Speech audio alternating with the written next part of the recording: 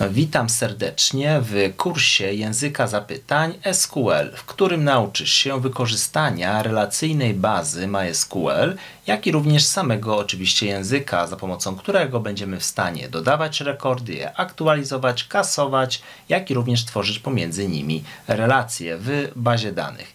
I oczywiście ten kurs jest częścią większego kursu Full Stack Developera, który trwa 72 godziny i jak widać ma bardzo wysokie oceny. Naprawdę gorąco zachęcam, ponieważ jest korzystna promocja i link do tego kursu jest pod filmem. I tam również nauczysz się nie tylko bazy MySQL, jak i również jej wykorzystania w Node.js, ale również poznasz przede wszystkim bazę danych MongoDB. Gorąco zapraszam. Baza danych MySQL jest obecnie jedną z najpopularniejszych baz danych, przede wszystkim dlatego, ponieważ jest darmowa, jest to projekt open source. Oczywiście jest aktualnie pod opieką firmy Oracle, ale mimo wszystko i tak możemy z niej korzystać w sposób komercyjny. I co ważne, jest to baza relacyjna, czyli możemy tworzyć sobie relacje pomiędzy poszczególnymi tabelami w naszej bazie danych. Doskonale sprawdza się dla dużych oraz małych aplikacji, jest szybka, skalowalna. No i oczywiście dostępna jest dla wielu różnego rodzaju systemów.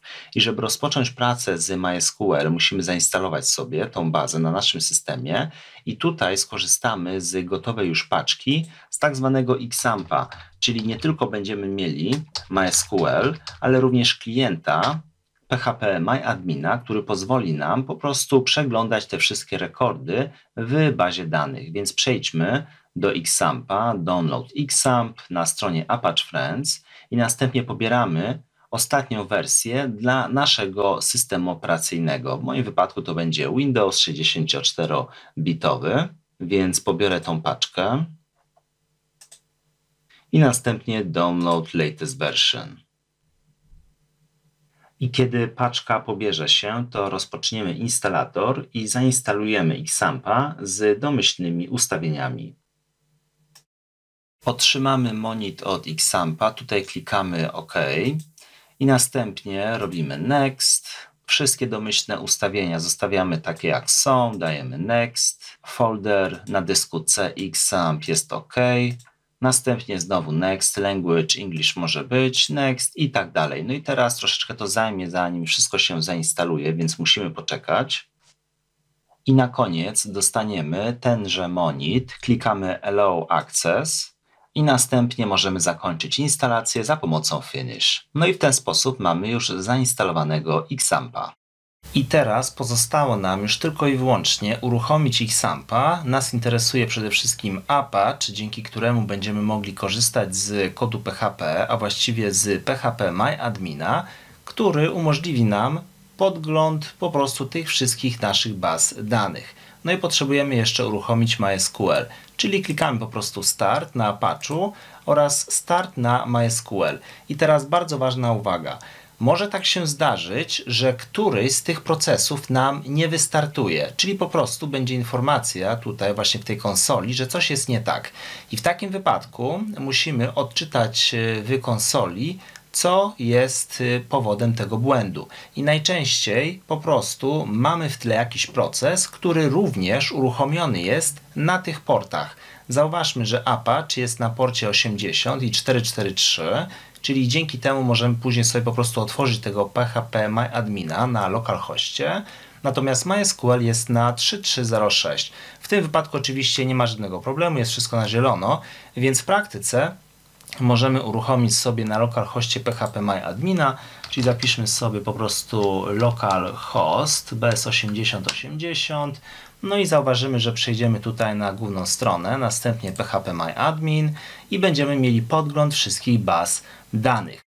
I oczywiście domyślnie na samym początku będziemy mieli te bazy, które są związane z PHP MyAdminem, natomiast za chwilę dodamy sobie kolejne bazy danych. Ok, no to jeżeli chodzi o instalację Xampa, to jest wszystko. Pamiętajmy, że jeżeli na danym porcie mamy również jakąś usługę wystartowaną, na przykład inną bazę jak Postgres czy cokolwiek innego, no to musimy najpierw ją wyłączyć, bo inaczej nie uruchomimy Xampa. No dobrze, no to przejdźmy do kolejnego filmu. Przejdźmy do utworzenia najprostszej tabeli w bazie danych i tutaj zaczniemy od naszej domyślnej bazy test, która już jest utworzona. Możemy również przejrzeć sobie resztę baz danych, tutaj właśnie w tej zakładce bazy danych. No i oczywiście będziemy mieli różnego rodzaju bazy. Ja mogę mieć kilka więcej, ponieważ pracuję cały czas na MySQL. Natomiast my skupimy się na bazie test i w tej bazie oczywiście możemy utworzyć różnego rodzaju tabele, w których przechowamy poszczególne rekordy. Czyli stwórzmy tabelę, nazwiemy ją users, czyli po prostu użytkownicy. Liczba kolumn, zapiszmy sobie na przykład 6 i klikamy wykonaj. I tutaj powstanie nam właśnie taka tabela, w której wypełnimy nazwy poszczególnych pól, ich typy, jak i również dodatkowe informacje, które pozwolą nam na utworzenie w pełni działającej tabeli w bazie danych. I zaczniemy od opisu użytkownika, czyli tworzymy sobie strukturę naszej tabeli i przede wszystkim nasi użytkownicy będą mieli unikalny identyfikator, Zatem zapiszmy ID, następnie typ tutaj tych danych to oczywiście będzie int, czyli liczba całkowita, ale również chcemy, żeby automatycznie ta liczba była inkrementowana, czyli za każdym razem, kiedy będziemy dodawali jakiś rekord do tabeli users, wartość ID będzie unikalna i zwiększana o 1, więc klikamy tutaj tą opcję Auto Increment. Następnie potrzebujemy również nazwy użytkownika, czyli jego imię, więc zapiszmy nazwę pola jako name. Następnie jako typ wybieramy varchar, czyli jest to ilość znaków, o określonej długości, jak nam tutaj nawet podpowiada, od 0 do 65 tysięcy znaków, ale możemy określić maksymalną ilość znaków. Na przykład zapiszmy, że maksymalnie imię może mieć 16 znaków. I co więcej, możemy również określić, żeby domyślnie była przypisywana wartość 0, jeżeli przy wstawianiu kolejnych rekordów nie podamy imienia więc zaznaczmy tą opcję null. Następnie, skoro mamy imię, no to dodajmy również nazwisko za pomocą surname i ta sama sytuacja, wybieramy varchar i zapiszmy również maksymalnie 16 znaków dla nazwiska i również wartość domyślna null. Jeżeli żadnej innej nie podamy, no to będzie null domyślnie przypisane w rekordzie. Dodajmy również bio, czyli w praktyce to będzie informacja na temat tego użytkownika, z tym, że tutaj wybierzemy inny typ, mianowicie tekst. I w praktyce tekst maksymalną długość może mieć 65 tysięcy znaków. I tutaj już nie określamy tej długości, po prostu tyle, ile użytkownik wpisze w momencie, kiedy będziemy dodawali jakiś rekord. Oczywiście maksymalnie 65 tysięcy znaków, no to tyle będzie zapisane w bazie danych. No i również zaznaczamy null jako domyślna wartość, jeżeli żadna inna nie będzie podana. I kolejne pole to będzie adres tego użytkownika. I tutaj zapiszmy tiny text i w praktyce to będzie maksymalna długość 255 znaków dla adresu. I ponownie dajemy tutaj null i następnie dodajmy age, czyli wiek użytkownika. I tutaj ograniczymy ten wiek do trzech liczb, czyli w praktyce będziemy mieli od 0 do no, 999, tak, jeżeli chodzi o wiek, no ale oczywiście tylu nie będzie, no ale po prostu sobie ograniczymy tą liczbę, żeby większych nie można było zapisać. Ponownie również tutaj dajemy wartość początkową 0 i w praktyce przydałaby nam się jeszcze tutaj jedna dodatkowa nazwa pola, mianowicie created, czyli czasu tworzenia tego rekordu, ale na razie po prostu zapiszmy i zobaczymy przy okazji, jak możemy wyedytować naszą strukturę. Czyli jak widać w zakładce struktura mamy tutaj opisane te wszystkie pola.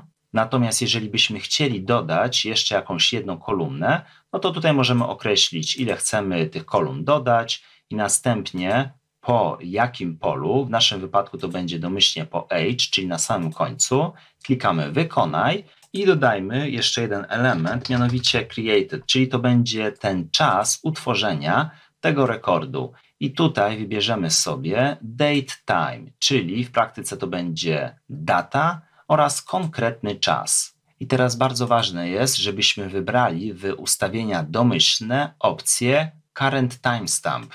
Dzięki temu automatycznie będzie wrzucona tutaj wartość przy utworzeniu tego rekordu aktualnego czasu. I następnie klikamy zapisz. I wróćmy do naszej struktury i jak widać będziemy mieli już tutaj te wszystkie elementy naszych użytkowników. Dodajmy do naszej bazy danych za pomocą opcji staff rekordy i tutaj ID nie wypełniamy, ponieważ automatycznie będzie dodana kolejna wartość. Natomiast jeżeli chodzi o name, no to wstawmy jakieś poszczególne wartości, na przykład Ola Kowalska, do tego bio, powiedzmy, że to będzie programistka, następnie adres Wawa Wilcza 7, do tego age, powiedzmy 29, no i oczywiście created automatycznie się wypełni, to będzie aktualna data oraz czas. Następnie kolejny element, powiedzmy, że to będzie Adam,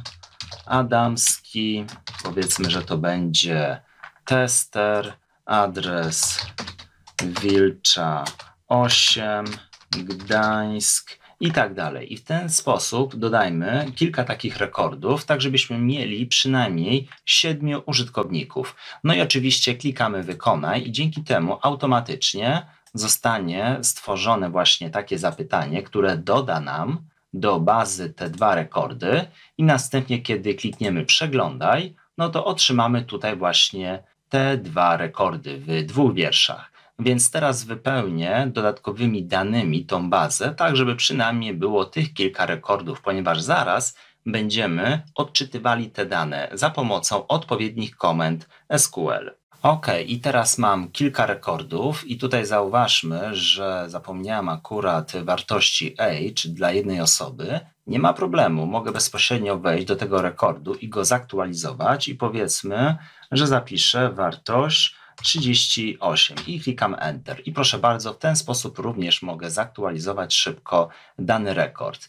I przy okazji zobaczmy również, w jaki sposób możemy wyeksportować nasze dane, czyli jeżeli kliknę Export i następnie dostosuj, mogę określić, co dokładnie ma być wyeksportowane. Oczywiście format SQL, bez kompresji, chcemy pokazać wynik jako tekst i następnie chcemy strukturę i dane i dajmy tutaj wykonaj. I w ten sposób otrzymamy w praktyce gotowy kod SQL, który możemy skopiować tutaj do tej zakładki SQL, żeby wypełnić powiedzmy jakąś pustą bazę naszymi danymi. I zauważmy, że mamy utworzoną naszą tabelę users, jak i również poszczególne rekordy, więc w ten sposób możemy sobie archiwizować naszą bazę danych. Więc ja skopiuję ten kod i oczywiście wrzucę pod film, tak żebyśmy mieli te same dane. Ok, no to wróćmy do naszej tutaj przeglądarki poszczególnych rekordów i ponownie zauważmy, że w momencie, kiedy kliknęliśmy na przeglądaj, to również została zastosowana komenda więc w ten sposób właśnie możemy instruować SQL, żeby nam zwracał poszczególne dane. I w kolejnym filmie zobaczymy, jak w praktyce możemy przeglądać poszczególne rekordy w bazie danych za pomocą odpowiednich komend SQL. Z poziomu PHP MyAdmina możemy wykonywać komendy SQL, kiedy przejdziemy do tej zakładki, ale zanim to zrobimy, chciałbym pokazać, w jaki sposób możemy kasować poszczególne rekordy, jak i również je uzupełniać, szczególnie jeżeli mamy jakieś gotowe dane. Pod tym filmem oczywiście jest plik do pobrania, w którym jest zrzut tej bazy danych za pomocą opcji Export.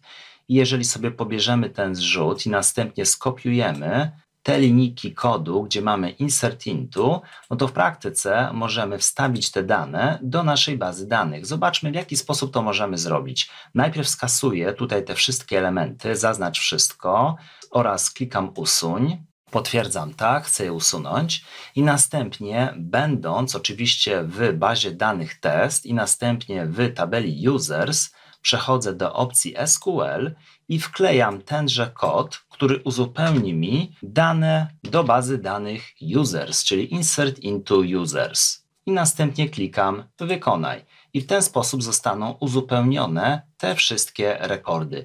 Więc jest to bardzo proste, jeżeli chodzi o eksport oraz import danych. Ok, to skoro to już wiemy, to przejdźmy ponownie do zakładki SQL I zobaczmy, w jaki sposób jest zbudowane najprostsze zapytanie. Wyobraźmy sobie sytuację, że chcemy wybrać wszystkie elementy, które znajdują się wewnątrz tabeli users. Więc co robimy? Piszemy po prostu select, następnie zaznaczamy, że chcemy wszystkie pola uzyskać, wszystkie kolumny z bazy users, czyli ID, name, surname i tak dalej i robimy to za pomocą gwiazdki. Następnie wskazujemy z jakiej tabeli, czyli zapiszmy sobie from oraz nazwa tabeli to jest users. No i teraz możemy wykonać to zapytanie, które zwróci nam po prostu wszystkie rekordy. No i zauważmy, że faktycznie pokazano wiersze od 0 do 6, czyli 7 rekordów. Oczywiście tutaj liczone są od zera. I jak widać, to są te wszystkie elementy, które znajdują się w naszej bazie danych. Ale oczywiście możemy również zawęzić to, co chcemy otrzymać z naszej bazy. Więc wróćmy do SQL, albo możemy również tutaj kliknąć Edytuj w linii i w ten sposób wyedytujemy to nasze zapytanie. I powiedzmy, że nie chcemy wszystkich tutaj tych kolumn ID, name, surname, bio i tak dalej, ale tylko i wyłącznie konkretne. Więc zapiszmy, że chcemy ID, jak i również chcemy name, oraz surname, czyli tylko i wyłącznie te trzy kolumny. I ponownie klikamy wykonaj. No i faktycznie otrzymaliśmy tylko i wyłącznie te dane, więc możemy zawęzić ilość informacji, które otrzymujemy z bazy danych. I Select zapewnia nam wiele różnego rodzaju możliwości. Wyobraźmy sobie na przykład sytuację, że chcielibyśmy wybrać wszystkie wartości wieku, ale te unikalne, ponieważ zauważmy, że na przykład wartość 29 powtarza nam się dwa razy. To zastosujemy ponownie w SQL odpowiednie zapytanie, czyli wybierzemy sobie select age, nazwa kolumny, ale chcemy wybrać te unikalne wartości, które się różnią, więc zapiszmy dodatkowe słowo kluczowe distinct i klikamy sobie Enter, tutaj nam podpowiada, czyli select distinct age from i nazwa tabeli users. OK, i następnie klikamy wykonaj i mamy dokładnie tą informację, czyli unikalne wartości wieku z naszej tabeli. Oczywiście uzyskaliśmy 6 rekordów z 7, ponieważ wartość 29 powtarza się dwa razy. Zapytanie select możemy filtrować z słowem kluczowym where, dzięki czemu możemy określić warunki tych poszczególnych rekordów, które muszą być spełnione,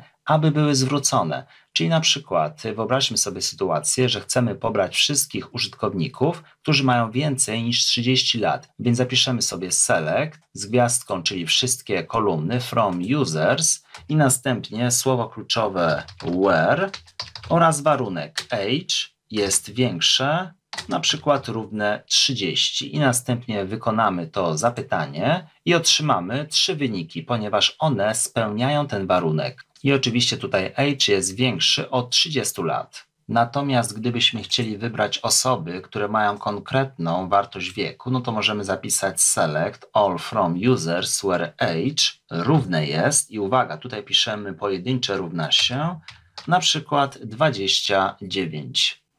I kiedy wykonamy to zapytanie, otrzymamy dwa wyniki z bazy danych, które spełniają oczywiście ten warunek. I jeśli chcemy sprawdzić dane rekordy ze względu na konkretną nazwę, no to możemy zapisać select all from users where name równe jest i następnie łańcuch znaków. Tylko pamiętajmy, żeby tutaj używać cudzysłów albo apostrofy, ponieważ oczywiście tekst może mieć spacje, jakieś znaki specjalne i tak dalej, więc to jest konieczne. Więc w naszym wypadku bierzemy sobie wszystkie rekordy, które mają imię Ola. No i w takim wypadku otrzymamy tylko i wyłącznie jeden rekord, który spełnia właśnie name równe Ola.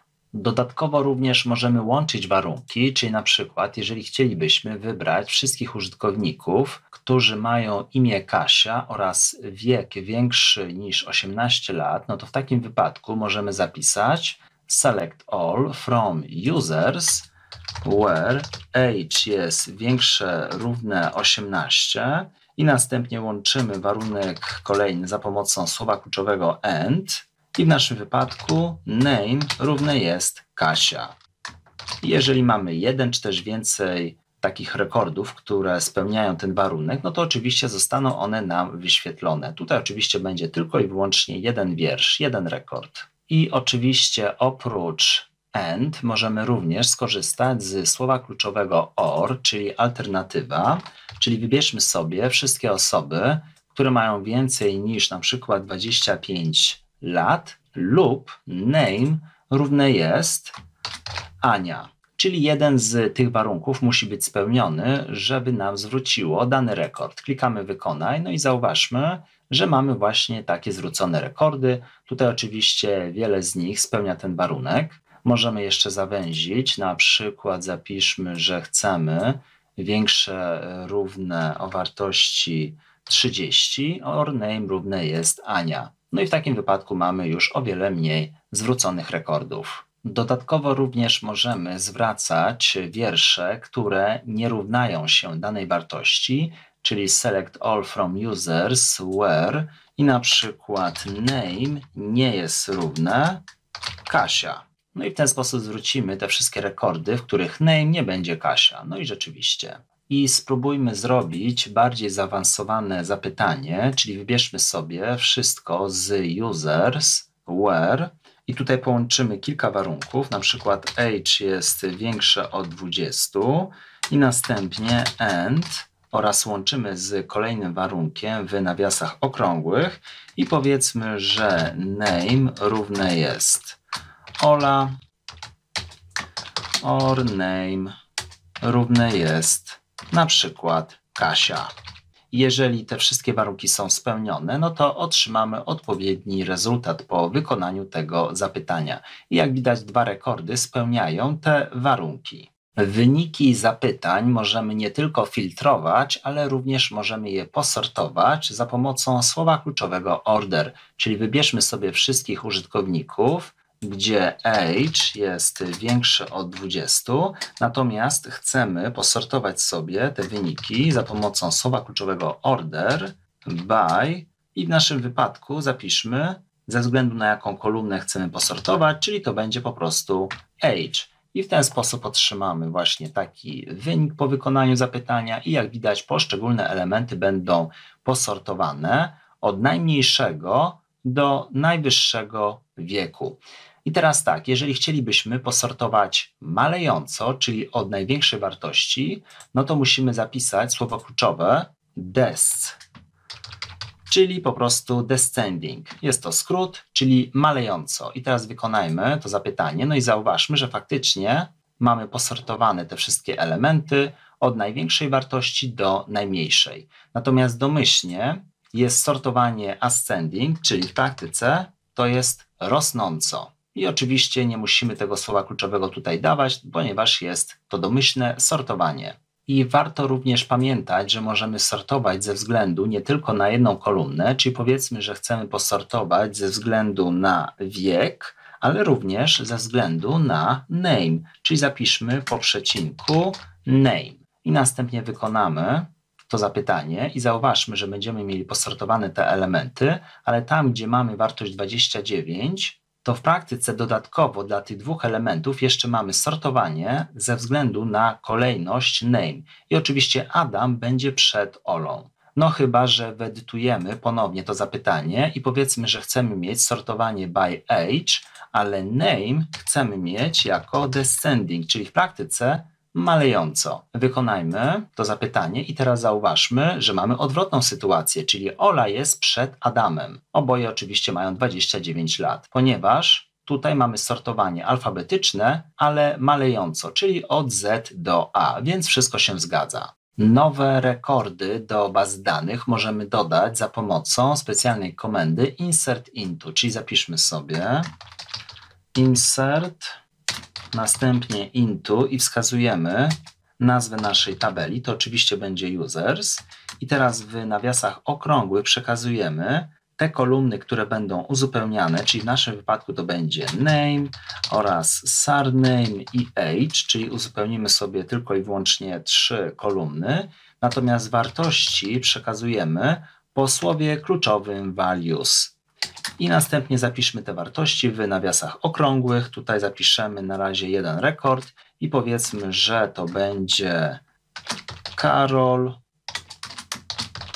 Karolski i powiedzmy, że age będzie o wartości 37. I następnie klikamy wykonaj i otrzymamy nowy rekord w bazie danych. Mamy potwierdzenie, że jest wstawiony jeden rekord, klikamy przeglądaj, no i rzeczywiście mamy Karol Karolski i zauważmy, że te wartości, które nie były uzupełnione za pomocą insert intu mają automatycznie null, ponieważ tak określiliśmy w strukturze naszej tabeli, z tym, że możemy sobie szybko zaktualizować daną wartość, powiedzmy, że to będzie jakiś tam dyrektor i klikamy Enter. Natomiast adres, jak widać, mamy nadal null i to jest doskonała okazja, żeby też przy okazji zobaczyć, w jaki sposób możemy wybrać dane elementy, które mają wartość null. I pamiętajmy, null określa brak wartości. Czyli przejdźmy do SQL i następnie wybierzemy sobie wszystkie rekordy z users, where i zapiszmy adres is null. Czyli w praktyce chcemy pobrać te wszystkie rekordy, gdzie adres jest null. I tutaj przy okazji pamiętajmy, że możemy stosować małe czy też duże litery zamiennie. Może zróbmy duże, żeby razem tak po prostu wyglądało lepiej. I następnie klikamy wykonaj. I jak widać otrzymamy właśnie ten jeden rekord, ponieważ spełnia ten warunek.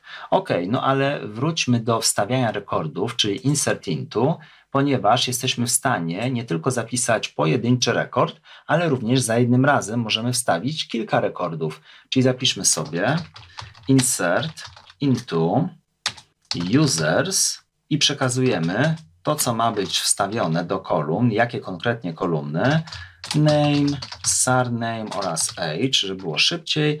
I następnie przekazujemy wartości values w nawiasach okrągłych i powiedzmy, że to będzie Zuzanna, Zuzka 45 i następnie po przecinku wstawiamy kolejne tutaj wiersze tych rekordów. Czyli powiedzmy, że zapiszemy sobie Paweł, Pawlecki i wartość 50 i następnie po przecinku kolejne i tak dalej, i tak dalej. Ale oczywiście musimy wstawiać tylko i wyłącznie taką konkretną ilość tych poszczególnych wartości dla danego rekordu, dla danego wiersza w tabeli, tak jak tutaj określiliśmy te name, surname i age, czyli ta ilość musi się zgadzać, więc mamy 3 do wstawienia kolumny, no i mamy oczywiście po 3 wartości.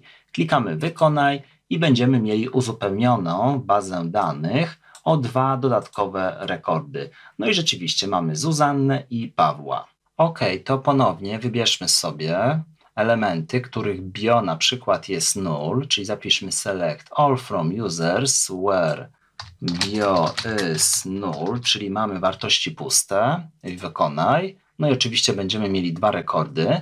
Natomiast jeżeli byśmy chcieli wybrać te rekordy, gdzie bio nie jest null, no to możemy zapisać is oraz słowo kluczowe not null. I w ten sposób wybierzemy tylko i wyłącznie te rekordy, gdzie bio nie jest nul, więc o tym również warto jest pamiętać. Rekordy również w prosty sposób możemy aktualizować za pomocą komendy update, czyli zapiszmy update users i następnie słowo kluczowe set i określamy, które dokładnie pola mają być zaktualizowane i powiedzmy, że chcemy zmienić name na wartość Oleg i teraz zapiszmy warunek i uwaga, jeżeli ja bym nie zapisał warunku i wykonał to zapytanie, to w praktyce bym zaktualizował wszystkie rekordy w bazie. Nieważne, czy byłby to jeden rekord, czy też milion, wszystkie byłyby zaktualizowane, więc musimy naprawdę bardzo uważać, co piszemy.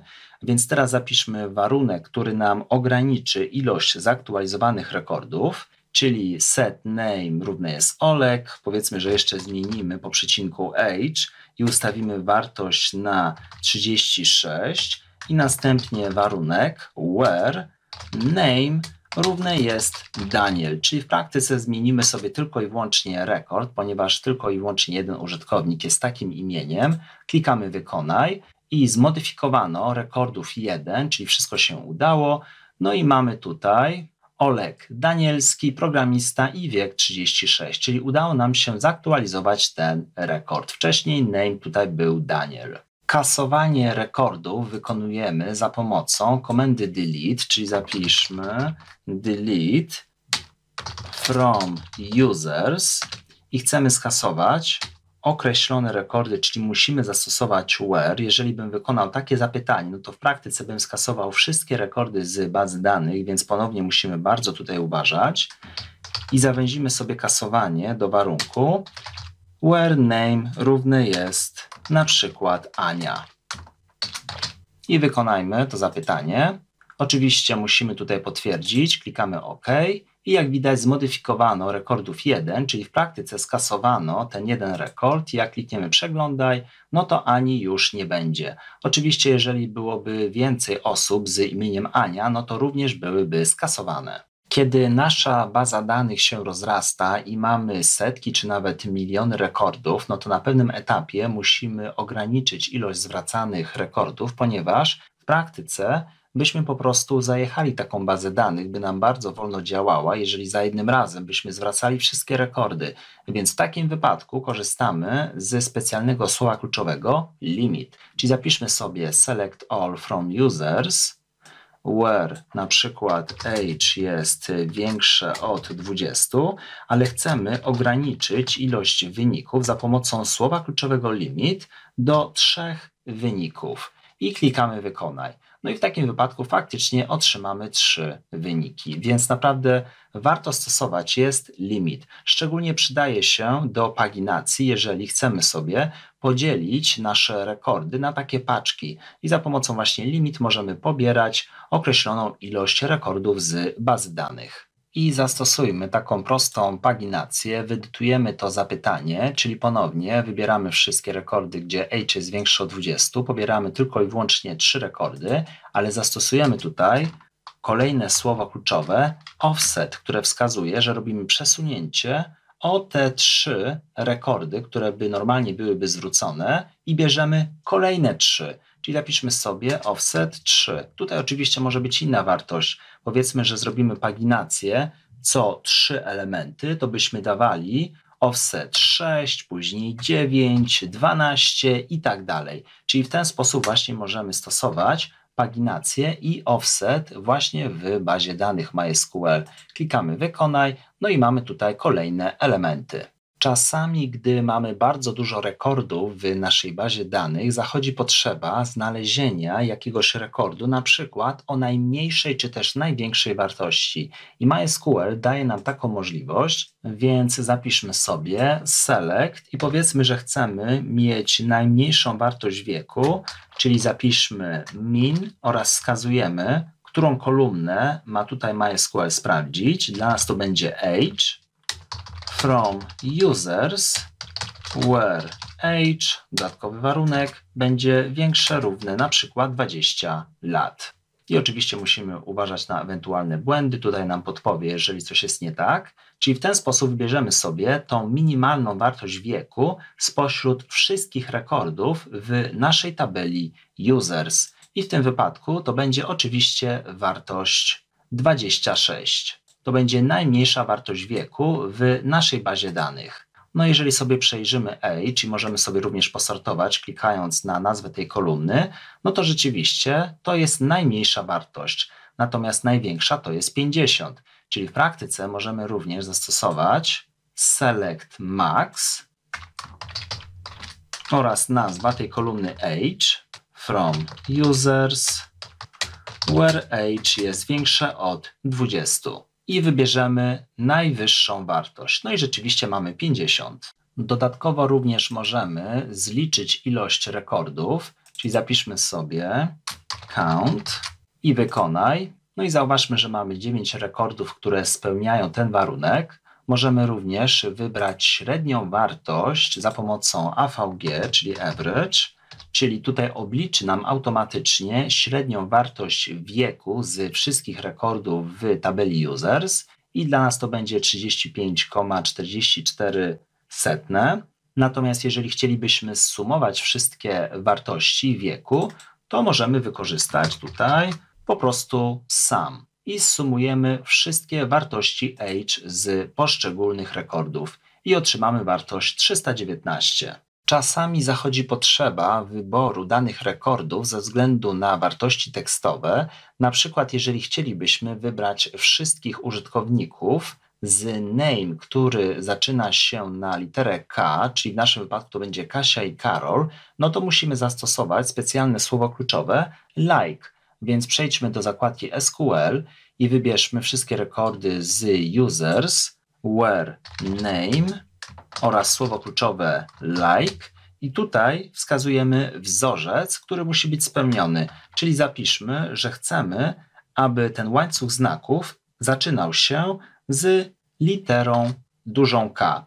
I następnie mogą być dowolne inne litery, czyli musimy to wskazać za pomocą procenta i następnie klikamy wykonaj i zauważymy, że będziemy mieli zwrócone dwa rekordy.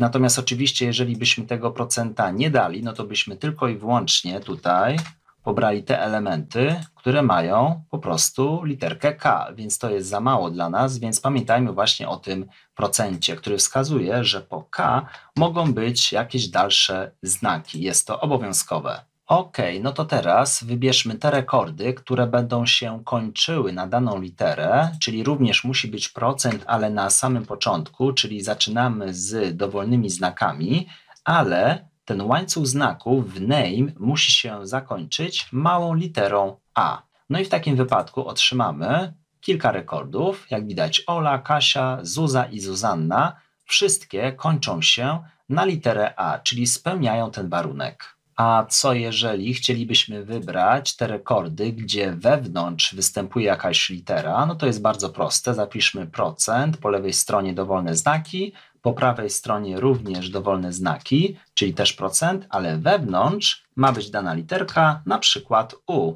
I ponownie wykonamy to zapytanie i otrzymamy dwa wyniki: Zuza i Zuzanna. No i rzeczywiście, faktycznie w środku mamy literkę U. Natomiast jeżeli chcemy określić dokładnie, pod którym indeksem w imieniu ma wystąpić jakaś literka, to stosujemy odpowiedni zapis, czyli powiedzmy, że chcemy dla Kasi zrobić odpowiednie zapytanie. Zapiszę tutaj komentarz Kasia w SQL, czyli zauważmy, że trzecia litera to będzie S. No to w takim wypadku zapiszemy like i określimy tutaj przekazany tekst, ile znaków musi być w imieniu, zanim pojawi się określony tekst, czyli w naszym wypadku w imieniu Kasia to będzie litera K oraz A, czyli zapiszmy dwa podkreślenia, ponieważ to będzie reprezentowało właśnie te dwa znaki, czyli K, A i następnie S, ale pamiętajmy, że oczywiście to nie musi być pojedyncza literka, to może być na przykład sia, tak, Kasia i to wszystko będzie pasowało. Ok, no i teraz wykonamy nasze zapytanie i zauważymy, że otrzymamy właśnie jeden wynik, który pasuje do tego zapytania. I zobaczmy jeszcze, w jaki sposób możemy wybrać użytkownika Adam, czyli zapiszmy like i chcemy, żeby pierwsza litera była A, dowolny tekst w środku, czyli procent i żeby imię kończyło się na M, czyli w praktyce Adam będzie pasował.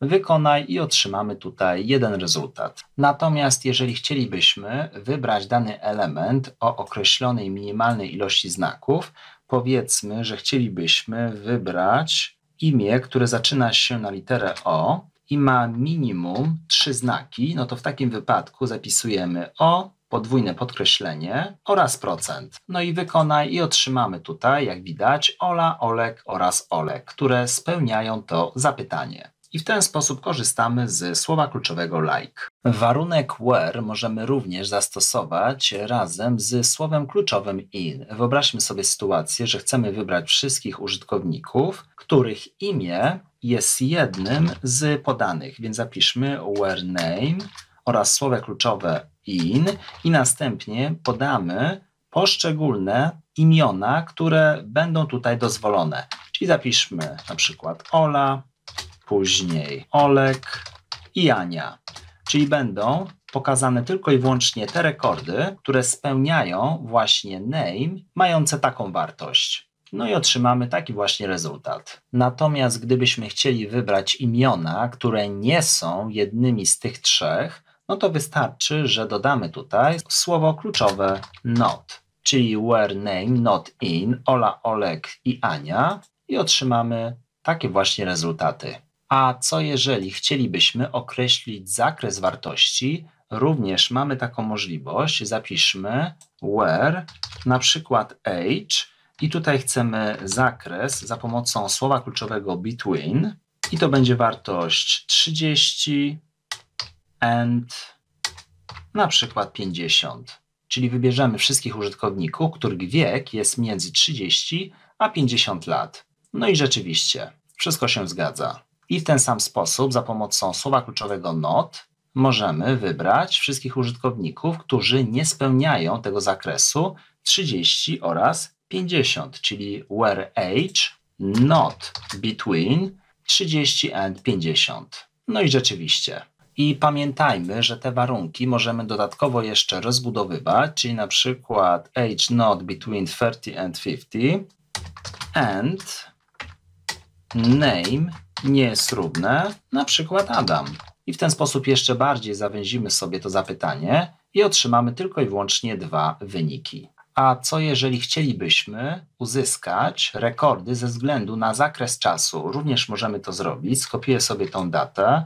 Następnie zobaczmy, jakie mamy daty poszczególnych rekordów, czyli w moim wypadku od godziny mniej więcej 8 do 9.30, więc zapiszmy kolejne zapytanie SQL select wszystko from users where. I teraz określimy, że chcę, aby kolumna created miała odpowiednią wartość, żeby była z zakresu, czyli stosuję słowo kluczowe between i następnie wklejam tą datę oraz czas i powiedzmy, że chcę tutaj uzyskać rekordy, które powstały pomiędzy godziną 9.00 rano danego dnia do konkretnego dnia oraz godziny. Czyli ponownie wklejam odpowiedni zapis i powiedzmy, że to będzie do godziny 23.33 i 26 sekund. Więc w ten sposób za pomocą zakresu również możemy wybierać rekordy ze względu na datę oraz czas i to z pewnością w przyszłości będzie bardzo dla nas przydatne. Aliasy to tymczasowe nazwy kolumn, jak i również i tabel, które przydają się, jeżeli tworzymy bardziej skomplikowane zapytania. Przejdźmy do SQL i następnie zapiszmy select i tutaj wybierzemy sobie kolumnę name, ale stworzymy jej alias, czyli zastosujemy słowo kluczowe s i następnie stosujemy naszą nazwę, nasz alias, który będzie stosowany zamiast name w wyniku czyli name zamienimy sobie na user name. I po przecinku wybierzemy również dane z kolumny surname, z tym, że tutaj stworzymy również alias za pomocą słowa kluczowego as i następnie alias jako user surname. No i oczywiście from users. I zauważmy, że teraz jak wykonamy to zapytanie, to otrzymamy username oraz user surname zamiast name i samego surname. I oczywiście to nie musi być pojedyncze słówko, więc wyedytujmy sobie to zapytanie i surname zmienimy na nazwisko użytkownika. Czyli zapiszmy nazwisko użytkownika, natomiast username zamienimy na imię użytkownika i ponownie wykonamy sobie to zapytanie i kolumny będą właśnie z takimi nazwami. Wykonaj, no i rzeczywiście imię użytkownika oraz nazwisko użytkownika. A co jeżeli chcielibyśmy połączyć obie kolumny i jeszcze zrobić alias dla wyniku, to również możemy zrobić. Więc zapiszmy sobie select i powiedzmy, że tutaj wybierzemy ID, jak i również po przecinku połączymy sobie imię i nazwisko, czyli zastosujmy concat podkreślenie ws i następnie tutaj stosując właśnie tą funkcję przekazujemy w jaki sposób mają być połączone elementy.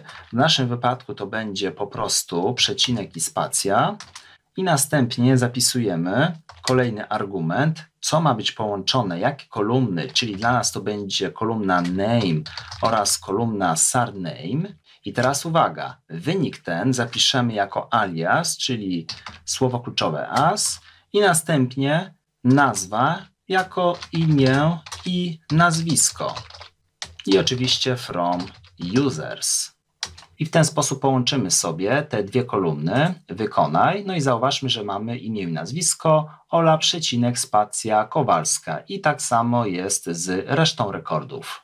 I zróbmy jeszcze jeden przykład z aliasami, ale nazw tabel. Przyda nam się to w przyszłości, gdy będziemy tworzyli bardziej zaawansowane zapytania i łączyli dane z różnych tabel. Czyli zapiszmy select u.id i w praktyce naszym aliasem będzie po prostu litera u dla users, czyli select u.id, następnie po przecinku u created, przecinek, wybieramy jeszcze u.name, oraz u.h, czyli w praktyce ten przedrostek u musimy teraz określić jako alias, czyli zapiszmy from, skąd, wybieramy z users, ale właśnie tutaj zaznaczamy za pomocą słowa kluczowego as, że to jest alias u dla użytkowników. No i oczywiście możemy dodać jeszcze jakiś warunek, where u.h jest większe, równe na przykład 20 i wykonamy to zapytanie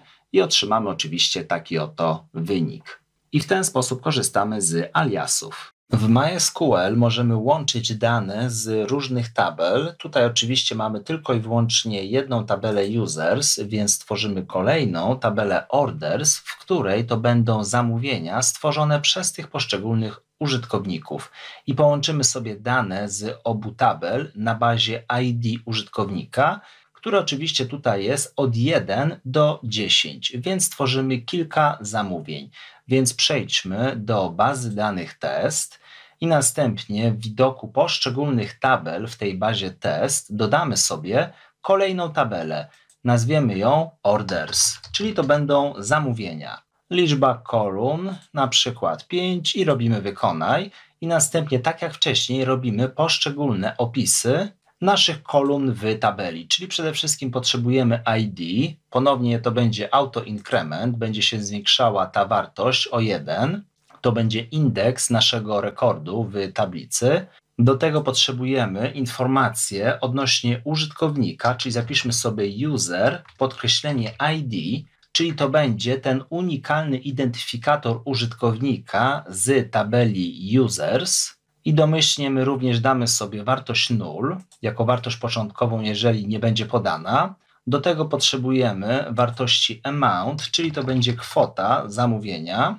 Dla uproszczenia również zostawimy sobie int i maksymalna wartość, na przykład zróbmy 10 i ponownie 0 domyślnie. I jeszcze zapiszmy created, czyli kiedy został utworzony ten rekord. I tutaj będzie oczywiście date oraz time, czyli po prostu czas, jak i również dokładna data tego zamówienia, a ustawienia domyślne current timestamp. I w ten sposób tworzymy sobie właśnie nową tabelę orders i robimy zapisz. I teraz, kiedy struktura jest gotowa tej tabeli, to możemy dodać kolejne rekordy za pomocą opcji wstaw do tabeli orders.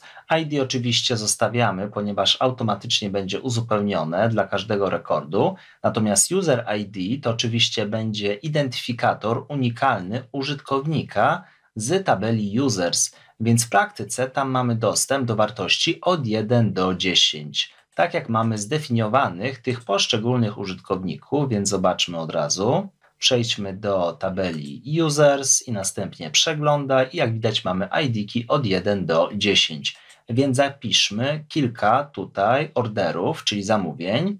User ID 1, następnie amount powiedzmy, że to będzie 100, następnie user ID na przykład również 1, amount 55, więc użytkownik będzie miał dwa zamówienia. Klikamy wykonaj, przeglądaj i jak widać mamy te zamówienia i następnie dodajmy kilka jeszcze kolejnych zamówień, user ID 2 i jakaś inna kwota, następnie user ID 3, kolejna kwota i tak dalej. Ok, mamy teraz cztery zamówienia, na razie wystarczy.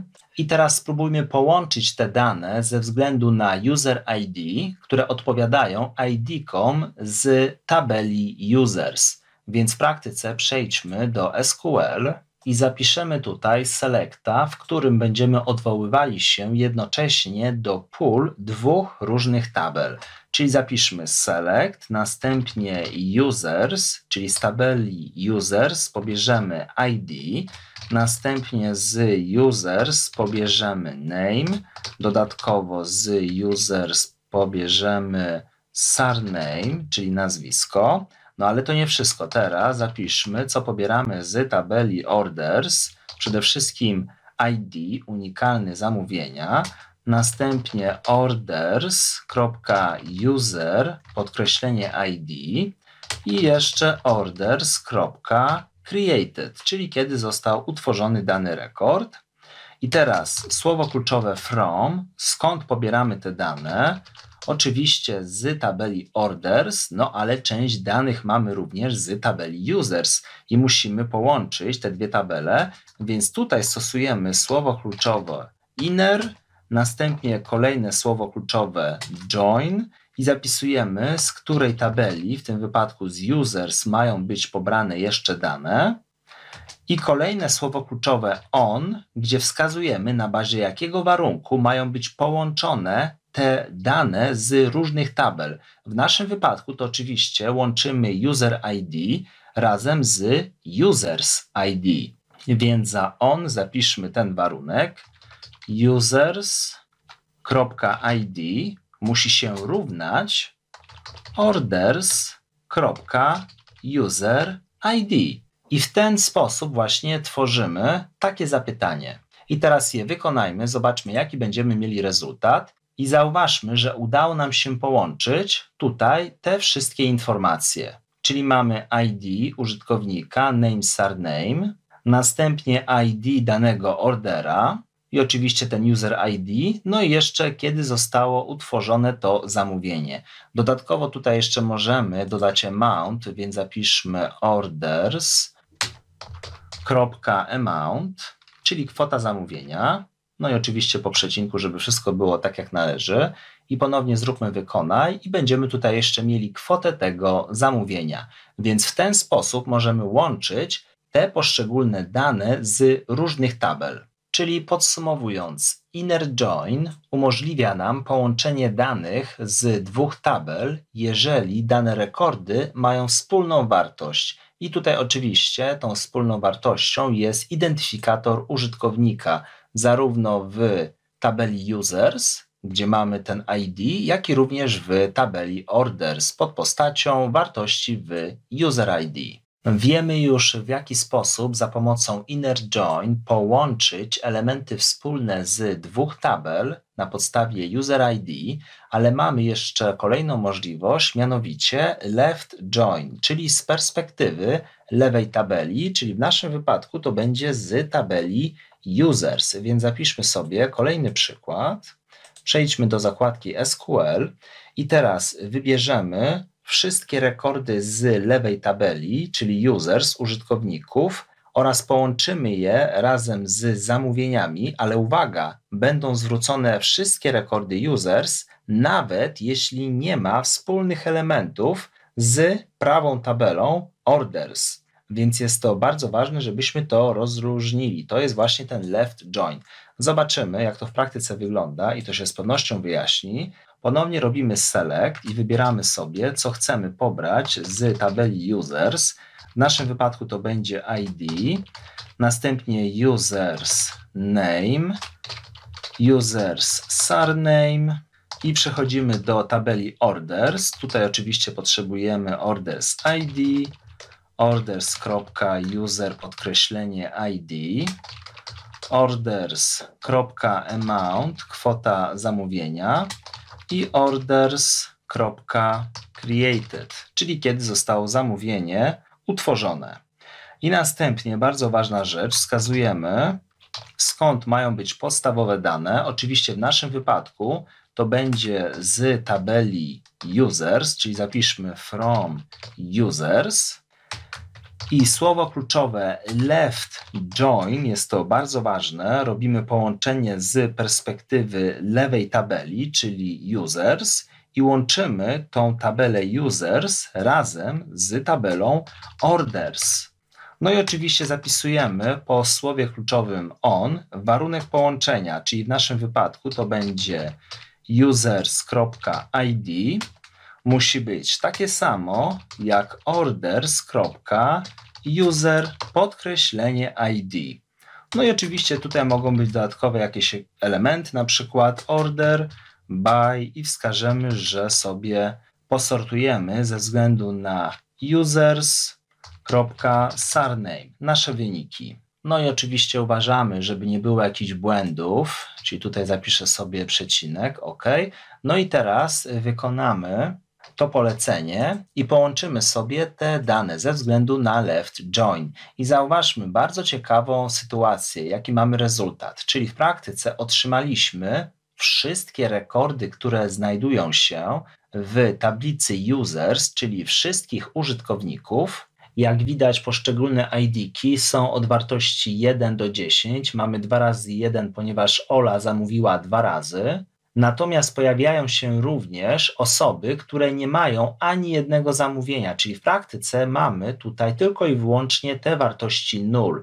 I to jest bardzo istotna różnica względem tego, co mieliśmy wcześniej, czyli inner join, ponieważ inner join nam połączył obie tabele i szukał części wspólnych ze względu na warunek, czyli user ID, ale teraz robimy wszystko z perspektywy wyłącznie tabeli users, czyli użytkowników, czyli wrzucamy dane, które oczywiście pasują z tablicy orders do tablicy users.